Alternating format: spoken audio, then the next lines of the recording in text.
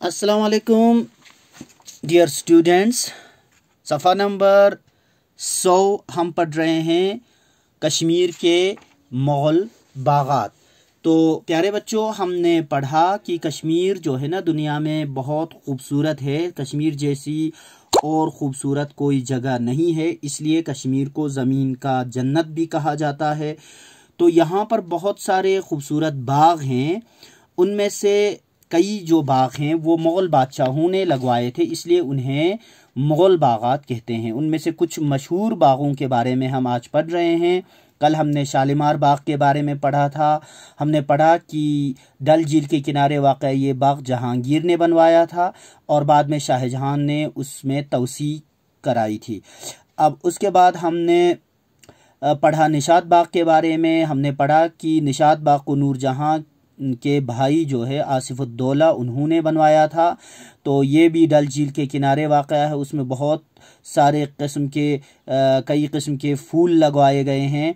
तो बहुत खूबसूरत नज़ारा पेश करता है डल झील का निशात बाग।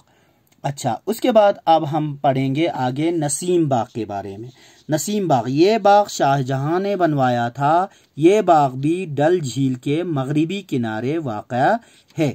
तो नसीम बाग जो है, जहाँ निशात बाग है ना, उसके अपोजिट में डल झील के दूसरे किनारे पर वाक़ है। डल झील के दूसरे किनारे पर हज़रत बल की दरगाह है, उसके करीब ही नसीम बाग है।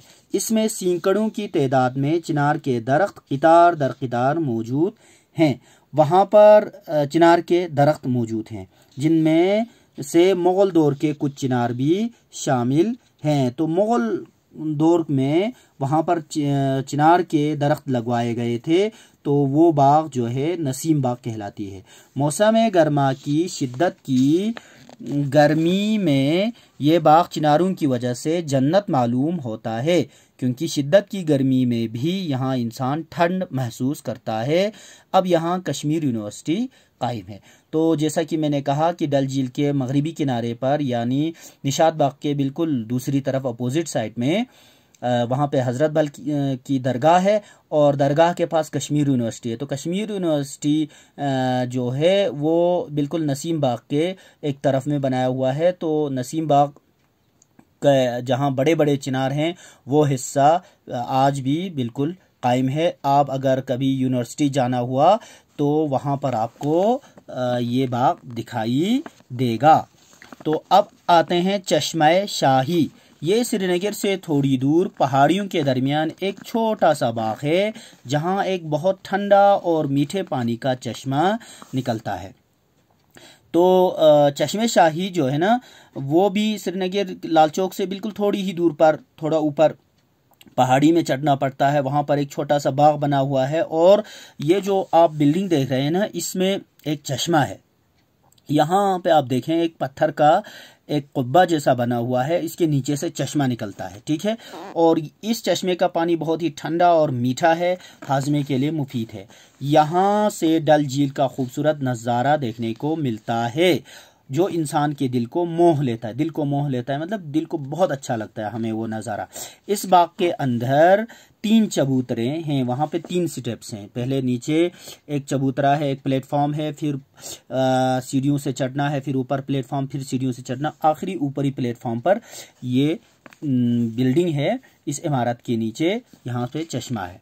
ओके, चश्मे शाही से थोड़ी ही फासले पर तारीखी परी महल है, जिसे दारा शिकू ने बनवाया था। तो चश्मे शाही से अगर हम थोड़ा और ऊपर चढ़ें तो वहाँ पे एक महल है, पुराना सा, उसको परी महल कहा जाता है। उसको दारा शिकू ने बनवाया था। दारा शिकू है शाहजहां की, शाहजहां का बेटा है दारा शिकू, ठीक है? शाहजहां के दो बेटे थे, एक का नाम औरंगज़ेब था, बल्कि कई बेटे थे। तो सबसे बड़े बेटे का नाम दारा शिकू था और उनके एक छोटे बेटे का नाम औरंगज़ेब था। तो औरंगज़ेब ने दारा शिकू को मरवा कर जो है, खुद बादशाह बना था। तो दारा शिकू शाहजहां का बेटा है। उसने वो बाग बनवाया था, ठीक है? पास ही राजभवन भी है। राजभवन मतलब जहाँ पर गवर्नर बैठते हैं। गवर्नर जो जम्मू कश्मीर रियासत के गवर्नर होते हैं, उनके बैठने की जगह को राजभवन कहा जाता है, ठीक है? सयाह लोग साल भर यहाँ आते रहते हैं और दिल बहलाई करते हैं। इस चश्मे का पानी हाजमे के लिए, बहुत मुफीद है हाजमे के लिए मतलब खाना हजम करने के लिए। और लोग बोतलों में भर कर इसका पानी घर ले जाते हैं।